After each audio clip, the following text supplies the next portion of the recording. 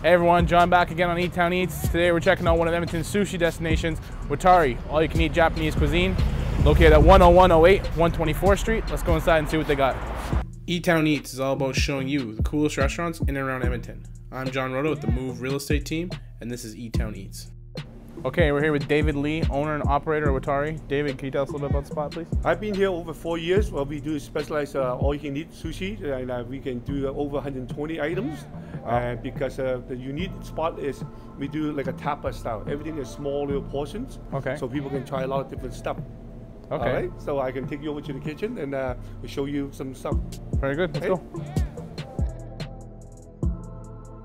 Uh, he is making volcano roll, and Okay. uh, gonna be really spicy. So we need kind of thing. So um, we gotta put some rice on there. We got some cucumbers we put on, Okay. and you got some really spicy tuna on inside there. What you putting on now? There's a black sesame, so make it a little bit prettier, like a rock kind of thing. So, Okay. so what you gonna do, you're gonna use uh, bamboos. Basically, uses uh, the wrap is help the rice it doesn't stick to that one. Yeah. So it's easier to make. So, so, so when he done that, he will make he measure it up. He's gonna cut it up, and put it into a nice presentation plate. We stack it up like a volcano. Oh, I got it. I see it now. So, so basically, see, like a lava coming out. Yeah, yeah, yeah. So, Oh, it looks good. And we have some uh, tempura crumb over top, so it looks like, a- like a rock, right? Like a, Yep, yep, yep. and then there like a black lava, like a seaweed whip over top of it. There we are, volcano. Very nice. Excellent presentation. Okay, well, let's try this one out. Could be spicy. Spicy tuna roll. Mm-hmm. Definitely has some kick to it. Definitely a little spicy, but it's not. It's not anyone can't handle. Anyone Yeah. can eat that, but it's spicy. It's definitely good. I love the spice in there, and the tuna is really nice too.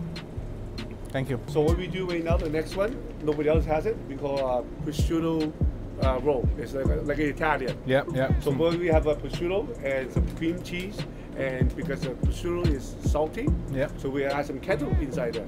Okay. So the prosciutto, cantaloupe, and cream cheese So we unique kind of sushi roll. Interesting. Yeah, Interesting. so- Pros- prosciutto's one of my favorite meats there. Yeah. So so now we have the prosciutto ham. You can put inside there with the cream cheese, Okay. and then uh, up because I say it's really salty. Yeah. With the cantaloupe with it, it changes a different taste on it. You can look like it be Italian, Yeah. Japanese. So cantaloupe in there. Yeah. Yeah. So Okay, prosciutto roll.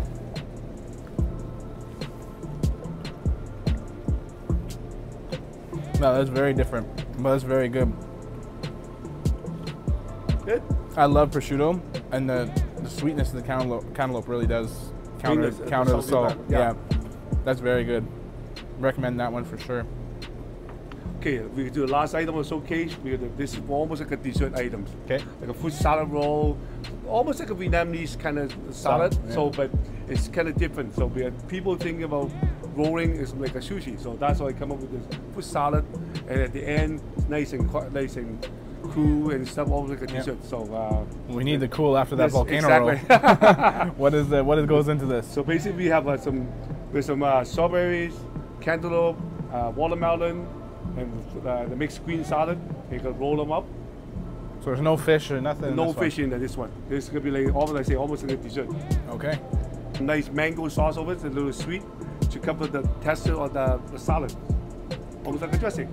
Oh, very nice. Here you go. You try one out. So you can try little I'm gonna try one from Yeah. the middle. It looks like there's more in there. I get some more of this mango sauce.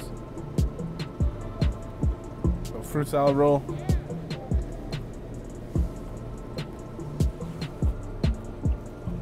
What do you think?